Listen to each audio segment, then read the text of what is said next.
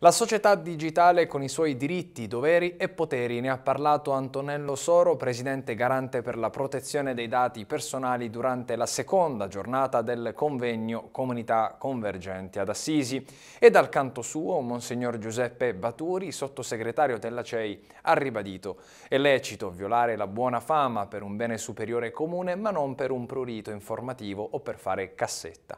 La riservatezza appartiene al patrimonio della Chiesa. Ascoltiamo le interviste di Luigi Sparapano.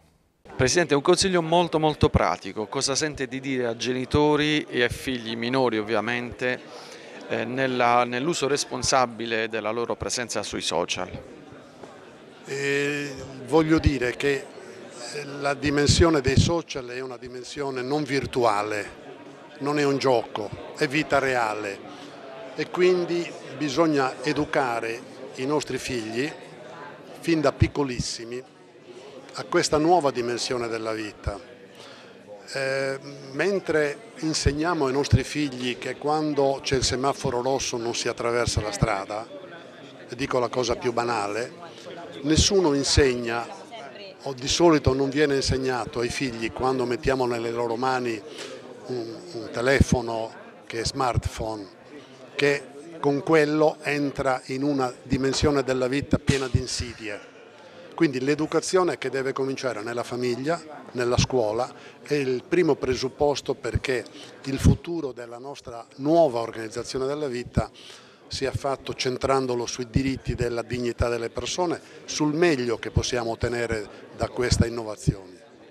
Qualche genitore pretende di difendere la privacy dei propri figli non entrando, non controllando le chat o i movimenti, parlo di bambini o di ragazzi di scuola media, è un atteggiamento corretto? No, mi sembra un atteggiamento mh, mm, eh, superficiale che dà per scontato che eh, i propri figli sappiano quello che fanno.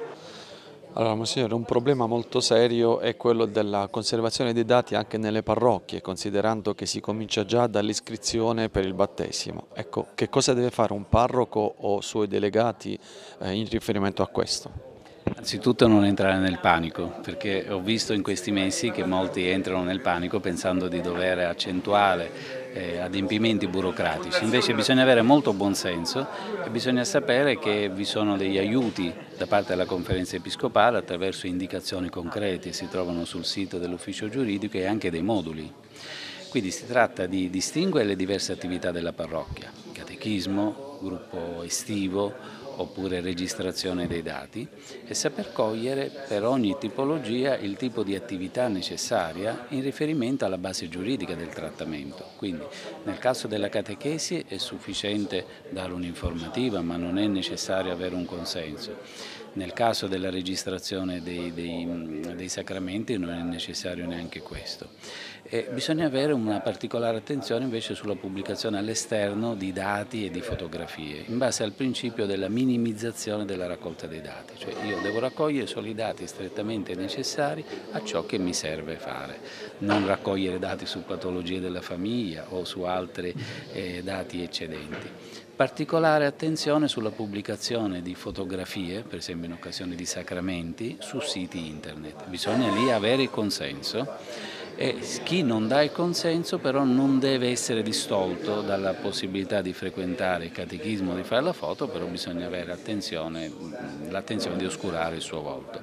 Quindi in, in concreto bisogna essere calmi, ci sono delle indicazioni e leggere eh, dei moduli, delle indicazioni che si trovano anche sul sito nazionale dell'ufficio giuridico. Quindi la piacevole mania di pubblicare centinaia di foto dell'oratorio o di altri eventi non è proprio una prassi pastorale, oltre che di rispetto della persona.